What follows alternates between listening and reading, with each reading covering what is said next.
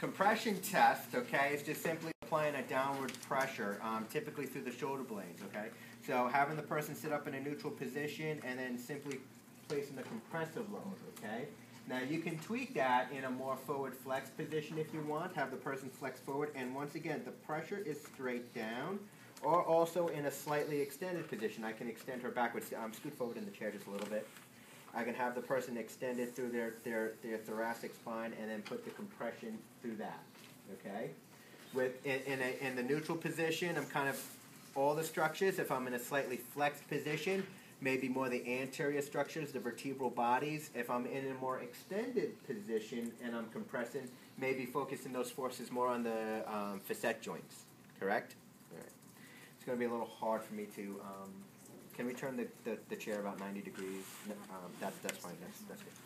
Um, you're going to want to move that. Okay. So the distraction test, I'm simply trying to unload her spine and, and give it a little bit of a distraction. So what I'm going to ask the patient to do is cross their arms over their chest and try to get their elbows nice and close to each other. Okay, so Bree, see me do that. I'm going to come from behind Bree, squat down into her position. I am going to interlock my fingers, or you want to grab the elbows, but for myself, I'm going to interlock the fingers, and I'm going to, to give, put, put her spine right up against mine, so I have her here, and then I'm just going to do just a little bit of a lift. Just kind of distracting her spine, and then relax. And then I'm trying to see if that feels what changes in her pain. It, hopefully I'm getting a little bit of a pain relief, or that, oh, that feels really good, because I'm stretching it out, decompressing the area. So that's the compression and distraction test.